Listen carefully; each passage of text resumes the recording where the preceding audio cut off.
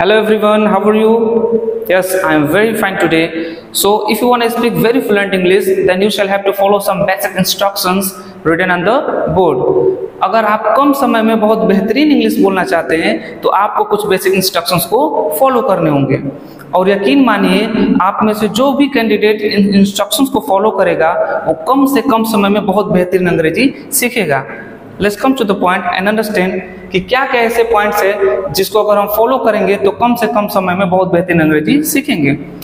So the first point is think positive यानी आपको हमेशा पॉजिटिव सोचना है। और हमेशा आप अपने आप से बोलते रहिए I can do it I can do it मैं कर सकता हूँ. हमेशा एक पॉजिटिव इन्वायरमेंट आप बनाइए। I can do it I can do it I can speak very fluent English I can speak very fluent English ये आपको एक पॉजिटिव इन्वायरमेंट देगा कि आप हमेशा पॉजिटिव सोचेंगे कि हाँ मैं कर सकता हूँ हाँ मैं बोल सकता हूँ। तो आपको सिर्फ़ पॉजिटिव सोचते रहना निगेटिव फ़ील्ड की तरफ़ आपको जाना ही नहीं है। सेकेंड पॉइंट को हम लोग समझेंगे। हैव सम मैटर्स यानी बातों का होना मैटर्स का होना। अच्छी इंग्लिश बोलने के लिए मैटर का होना बहुत ज़रूरी है।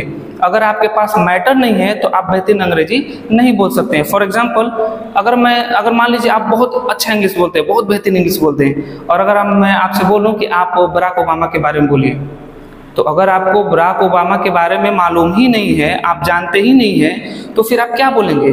कुछ नहीं बोलेंगे। हालाँकि आप बहुत अच्छी इंग्लिश बोलते हैं इसका मैटर मतलब क्या है कि मैटर का होना बहुत ज़रूरी है इंग्लिश लैंग्वेज में। मैटर मिलेगा कैसे? तो हर एक क्लास हर एक वीडियो के अंत में आपको एक टॉपिक दिया जाएगा और उन्हीं टॉपिक्स को आप जितना बढ़ा चढ़ा कर लिख सकते हैं बढ़ा चढ़ा कर लिखिए। जो भी मैटर हो, उसको एग्जाजरेट करिए वो बढ़ा चढ़ा कर लिखिए, ताकि आपको मैटर मिले और बात करने के लिए पॉइंट आपको मिले। नेक्स्ट पॉइंट पे हम लोग समझेंगे। A good listener is a good speaker यानी एक अच्छा सुनने वाला, एक अच्छा बोलने वाला होता है। फॉर एग्ज़ाम्पल अगर आप किसी इंग्लिश मैन से बात करिए, यानी किसी अंग्रेज़ से आप बात करेंगे तो आपको उसकी बातें जल्दी समझ में नहीं आएगी। लेकिन इसी इंग्लिश मैन के साथ अगर आप एक महीने बिता लीजिए तो अब धीरे धीरे क्या होगा, आप उसकी बातों को समझना शुरू कर देंगे। इसका मतलब क्या है? हम उसको ऑब्ज़र्व करना शुरू कर देते हैं। Observation is very important for English language for any things अगर आप ऑब्ज़र्व करना चीज़ों को शुरू करते हैं तो आप सीखना शुरू कर देंगे। यानी हमने क्या किया, उस इंग्लिश मैन को एक महीने तक ऑब्ज़र्व किया। ऑब्जर्वेशन करने की वजह से हमारे स्किल्स जो समझने की कैपेसिटी थी लिसनिंग कैपेसिटी थी, वो क्या है? वो बढ़ गई। अब बढ़ने की वजह से अब उसकी बातें हमें आसानी से समझ में आने लगी।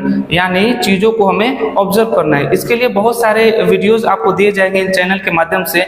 उसमें बहुत सारे डिबेट्स होगा ग्रुप डिस्कशन होगा स्टेज स्पीचेज होंगे कन्वर्सेशन होगा, उन सारे वीडियोस को आप देखिए ऑब्ज़र्व करिए कि उन वीडियो में क्या क्या बोला गया है क्या क्या मैटर्स है क्या क्या मीनिंग्स का इस्तेमाल किया गया है। उन चीज़ों को ऑब्ज़र्व करिए और उन सारी चीज़ों को आप खुद अपने वे में बनाइए और अपने तरीके से बोलने को कोशिश करिए। अगर आप उसको अपने तरीके से बोलने का कोशिश करते हैं तो आप बहुत बेहतरीन अंग्रेज़ी सीखेंगे।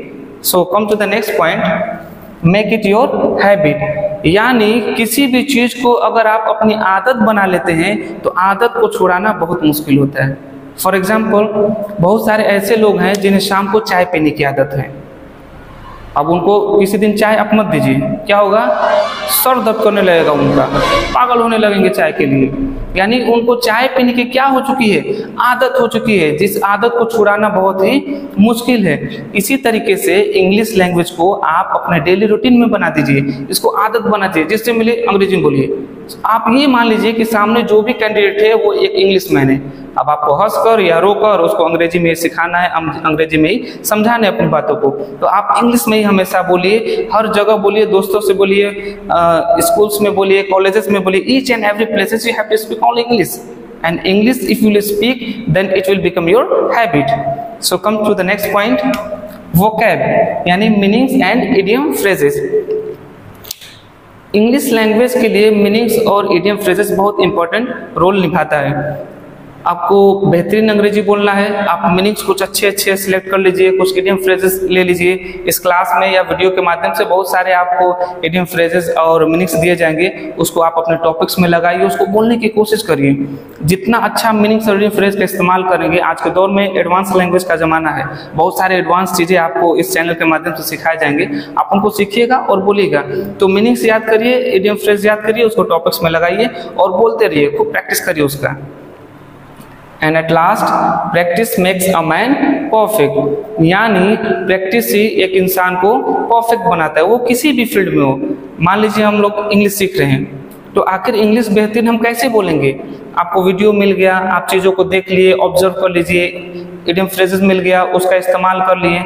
लेकिन बोलेंगे कैसे? प्रैक्टिस करना पड़ेगा आपको। यानी जो भी टॉपिक्स आप बनाएँगे उसको आप प्रैक्टिस करिए, बोलने की कोशिश करिए। जब आप इसको प्रैक्टिस करना शुरू कर देंगे तो आपकी इंग्लिश धीरे धीरे इंप्रूव होना शुरू हो जाएगा। So utilize all my instructions whatever I told you right now and speak it in your language और इन सब चीज़ों को अपने लैंग्वेज में इस्तेमाल करना शुरू कर दिए। मैंने एक मीनिंग यूज़ किया यूटिलाइज इसका मतलब होता है काम में लाना, प्रयोग में लाना। तो इन सारी चीज़ों को फॉलो करिए। आने वाले समय में बहुत अच्छी इंग्लिश बोलेंगे आप, और हर एक क्लास और एक वीडियो के अंत में आपको जो टॉपिक्स दिया जाएगा, उस टॉपिक्स को बनाइएगा मीनिंग से फ्रेज का इस्तेमाल करिएगा और बेहतरीन इंग्लिश बोलने की कोशिश करना है। Okay thank you very much